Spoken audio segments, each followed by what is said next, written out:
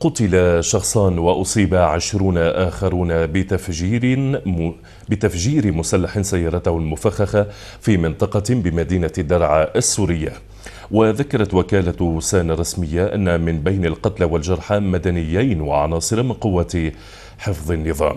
وفي مدينة حمص عثر الجيش السوري على مخزن كبير للأسلحة بعد دخوله حي باب عمرو. وأظهرت صور حصلت عليها قناة العالم مواد كيماوية كانت موجودة في المخزن وتستخدم في تصنيع العبوات الناسفة إضافة إلى أسلحة إسرائيلية الصنع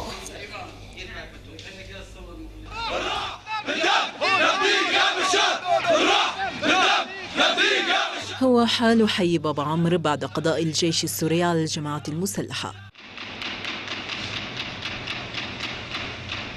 عمليات تمشيط الحي بغية التأكد من خلوه من المسلحين. أمر تبع نحو شهر من العمليات العسكرية التي كانت ذروتها في الأيام الأخيرة. فيما يتابع الجيش عملياته في الأحياء المجاورة. سياسة القدم التي استغرقت وقتا والتي اتبعها الجيش السوري جاءت وفقا لواقع الحي. حيث توخى الحفاظ على حياة المدنيين قدر المستطاع عاد عن كثرة أعداد المسلحين ونوعية السلاح الذي كان بحوزتهم. المواطنون يشعرون هناك أنهم رهائن بأيدي المسلحين ومن يحاول الخروج منهم يطلق عليه النار من طرف قناصة الجيش الحر ولا يوجد أبدا معارك تستخدم فيها الأسلحة الثقيلة كما يدعي الإعلام. فالمتمردون في باب عمرو على ما يبدو لديهم كمية هائلة من الديناميت ويقومون بتفخيخ المنازل الفارغة وتفجيرها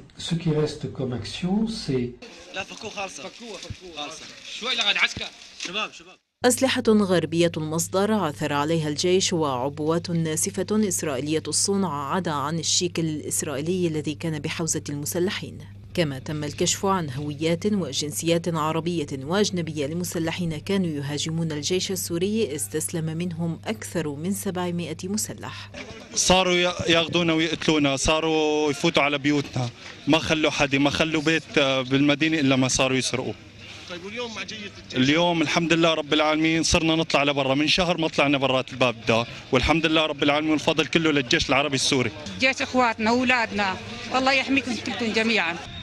بعد إتمام السيطرة على حي بابا عمرو ينتظر من بقي فيه وصول الإمدادات والمساعدات التي ستحملها قوافل الصليب الأحمر والهلال الأحمر التي وصلت إلى حمص.